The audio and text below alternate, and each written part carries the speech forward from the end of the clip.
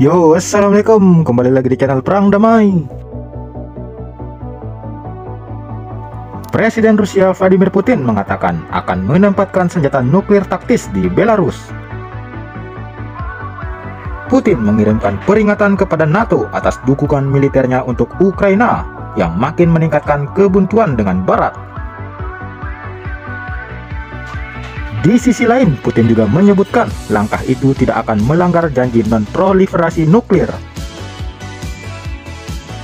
Namun patut diingat, hal itu adalah salah satu sinyal nuklir Rusia yang paling menonjol sejak awal invasi ke Ukraina 13 bulan silam.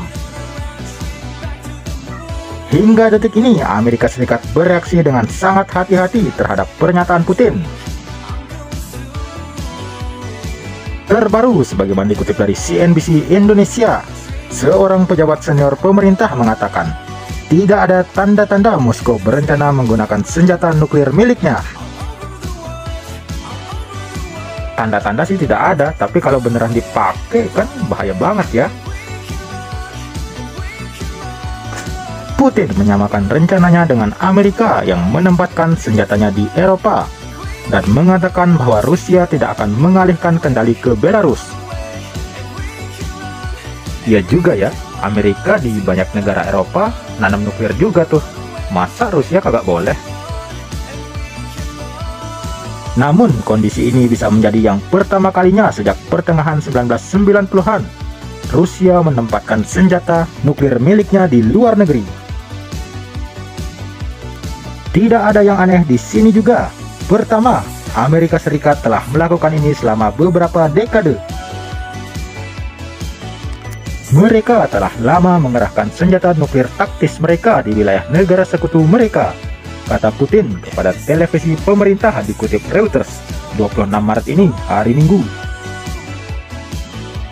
Di sisi yang lain, Wakil Ketua Dewan Keamanan Rusia, Dmitry Medvedev mengakui Rusia harus menambah pasukan militernya agar bisa mempertahankan diri.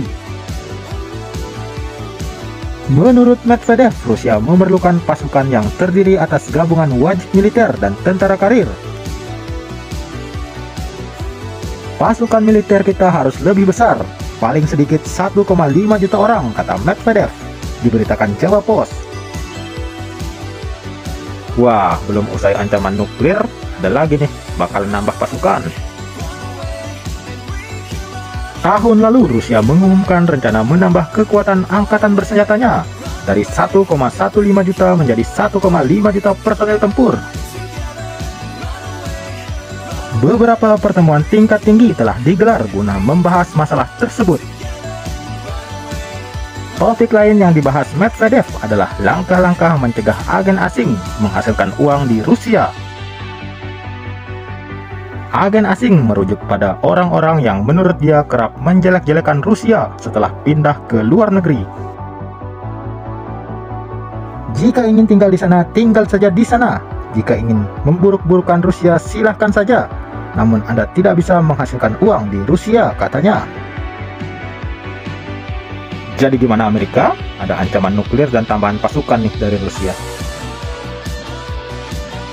Sekian untuk episode bermanfaat kali ini. Wassalam.